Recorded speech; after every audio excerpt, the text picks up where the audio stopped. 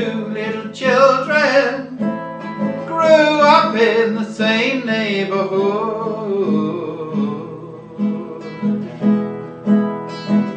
Two little children treated each other so good.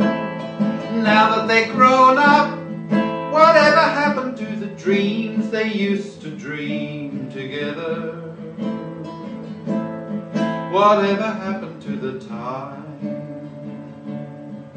they shared?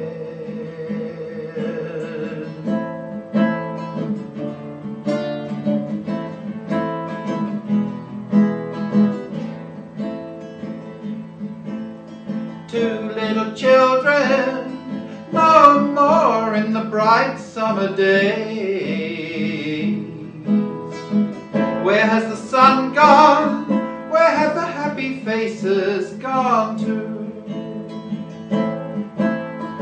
Where is tomorrow? Where are the promises that yesterday we made each other?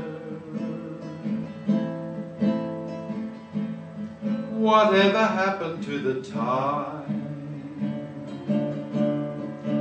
we shared?